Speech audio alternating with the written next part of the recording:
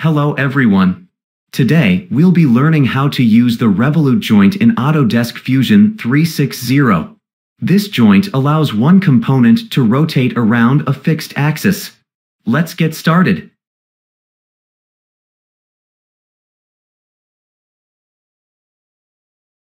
First, we need two components that will rotate relative to each other, such as a wheel and a shaft.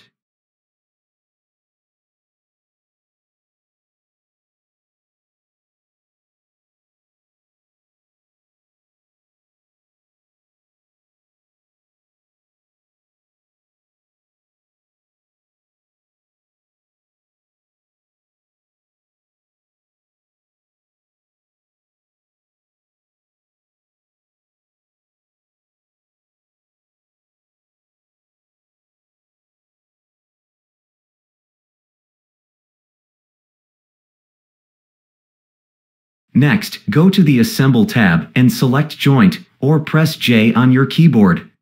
In the Joint window, choose Motion Type as Revolute.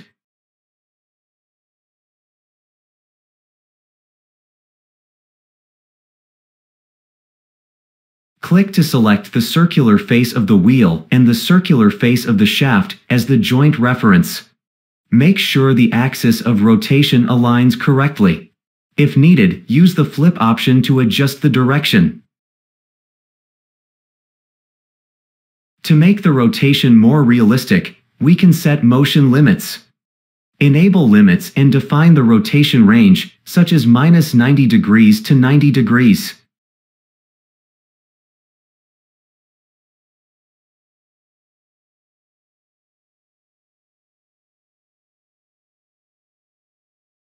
Press OK to save the settings. Right-click the joint and select Animate Joint to see the rotation in action.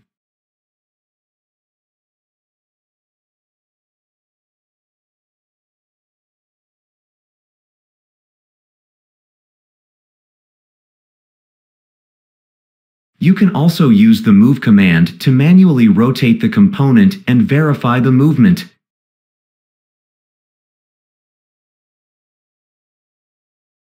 That's how you use the Revolute joint in Fusion 360. It helps simulate rotational motion accurately.